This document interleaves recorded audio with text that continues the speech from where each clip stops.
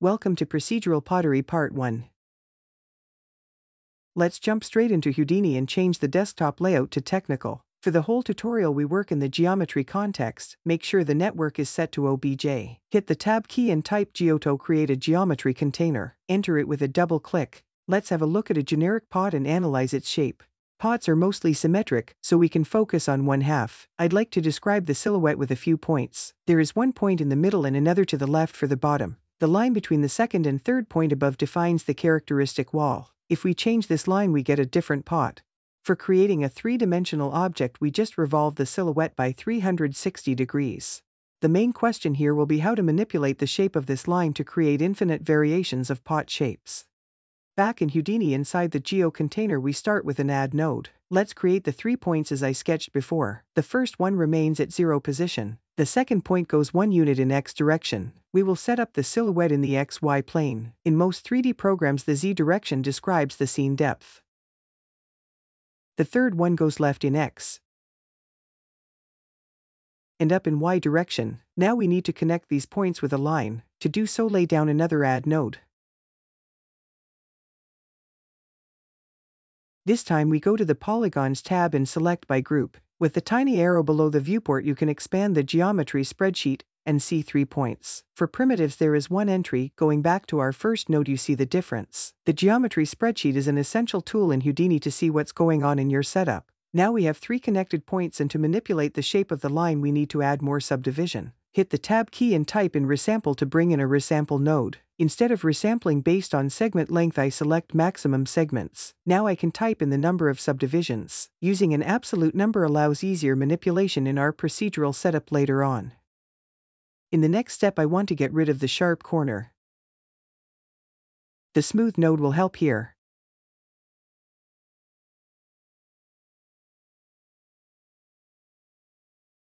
The effect can be adjusted with the strength and the filter quality parameters.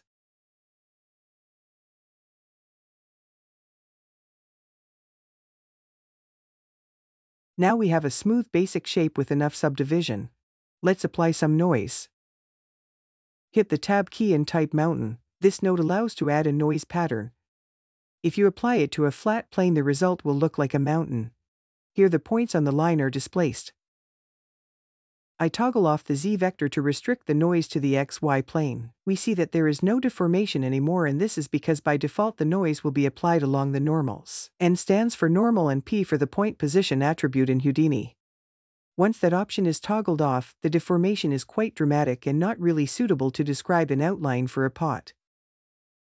What we can do is create a normal attribute on the line pointing outwards. There are several methods to do this. I will use the polyframe node here. By default it calculates a normal attribute. Turn on display normals with this icon. Well, this not the direction we want.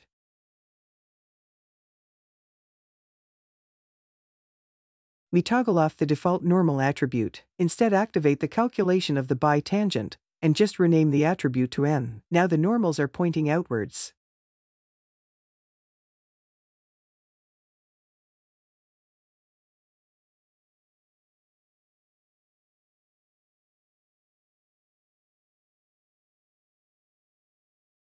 Back at the mountain node, activate again the noise along vector option. Now we have a much better deformation.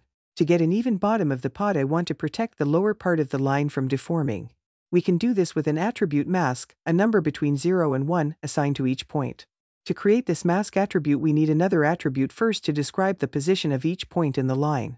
Go back to the resample node and activate the curveu attribute. In the parameter spreadsheet we can see that the value ranges from 0 at the beginning to 1 at the end of the line. Let's visualize this attribute also with a color node. Instead of the default constant value we choose ramp from attribute.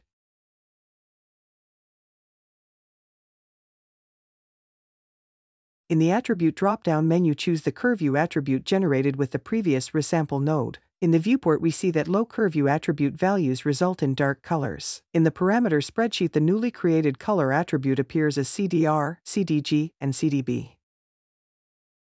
Now I want to remap the curveu to a new mask attribute. I insert here an attribute remap node.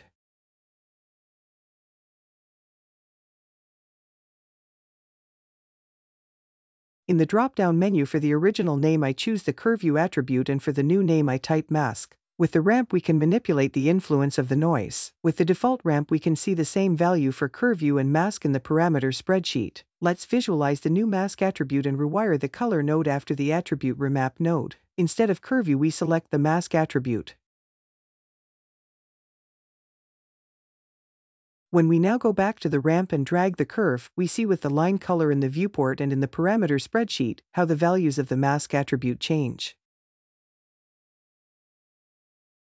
Now we need to tell the mountain node that it should consider the mask attribute for applying the noise on the points. Select Blend, and in the drop-down switch from Constant to Use Attribute. Mask is the default attribute name and already filled in.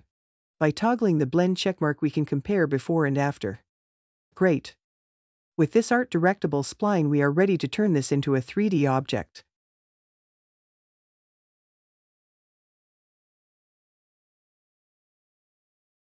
Let's add a revolve node at the end of the chain.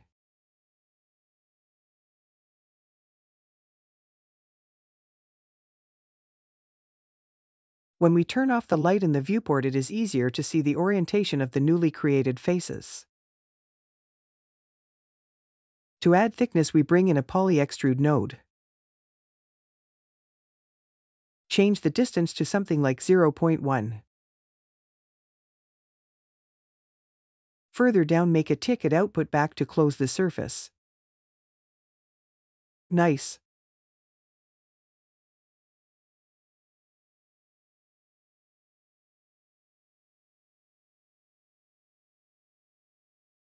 Let's increase the amplitude of the noise a little bit for more deformation.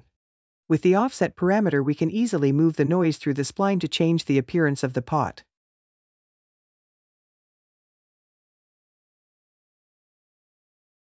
For changing the proportions I go back to our first node and lift up the third point a bit.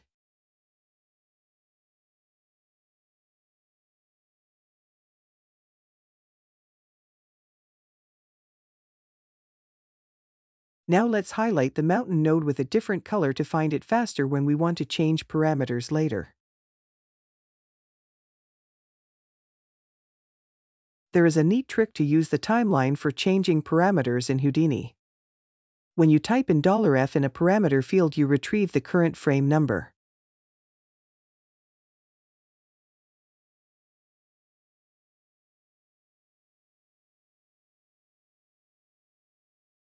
To finish my node tree I add a null. This convention is useful especially in more complex projects and helps to find specific output elements easier.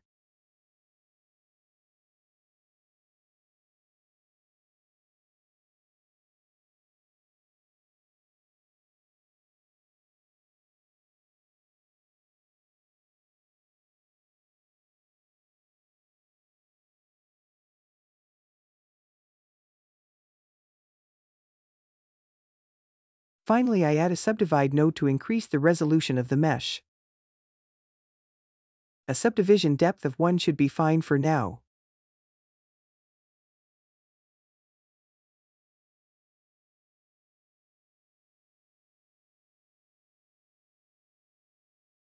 Let's turn off the wireframe display and turn on high quality lighting in the viewport to inspect the surface quality.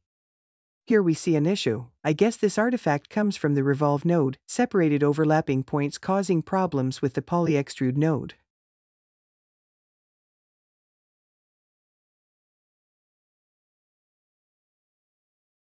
Let's fix this with a fuse node, it snaps points within a certain threshold together and fuses them. Problem solved.